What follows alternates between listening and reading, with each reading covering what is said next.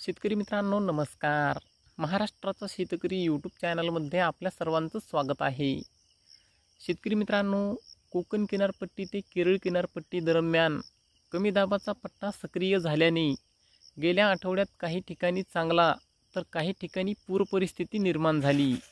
मात्र पुढील पंधरा दिवस पावसाचा जोर कमी राहणार असून सरासरीपेक्षा कमी पावसाची शक्यता हवामान विभागाने वर्तवली आहे. हवामान विभागाने दिलेल्या माहितीनुसार तेवीस ते एकोणतीस जुलै दरम्यान कोकण विदर्भ आणि मध्य महाराष्ट्राच्या दक्षिण भागात सरासरीपेक्षा अधिक पावसाची शक्यता आहे. त्याचबरोबर सिंधुदुर्ग आणि कोल्हापूर जिल्ह्याच्या घाटमाथ्यावरही सरासरीपेक्षा जास्त पावसाची शक्यता असून उत्तर मध्य महाराष्ट्र आणि मराठवाड्याच्या बहुतांशी भागात सरासरीपेक्षा कमी पावसाची शक्यता आहे.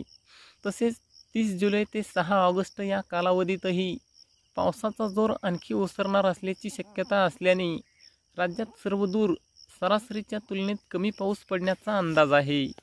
त्यानंतर सहा ऑगस्ट ते बारा ऑगस्ट दरम्यानही सरासरीपेक्षा कमी पावसाची शक्यता असून तेरा ऑगस्टपासून राज्यात पुन्हा एकदा मान्सून सक्रिय होणार असल्याची माहिती हवामान विभागाने दिली आहे.